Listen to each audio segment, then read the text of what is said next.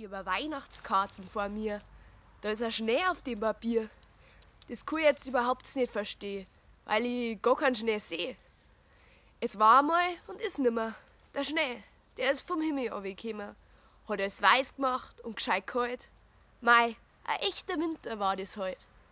Schnee mal aus Papier, Kunstschnee da, ein Zipfelmützen auf dem Kopf. Wer braucht das bei der Sonne schon?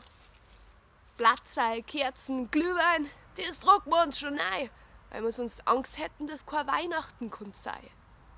Und dann ist vorbei, die heilige Zeit, und die Diät kommt eingeschneit. Hey Leid, ist das überhaupt noch Freit? Also ich möchte lachen, tanzen, singen und ich versuche den Abend qualvoll rumzubringen.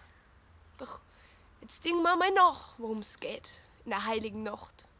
Ich glaub, ich mein, in Bethlehem liegt im Winter auch kein Schnee. Und trotzdem war die Geburt von Jesus schön. Sterne am Himmel und Glockengebimmel. Man hat versucht, was zum Ändern in der Zeit, auch wenn es nicht hat geschneit.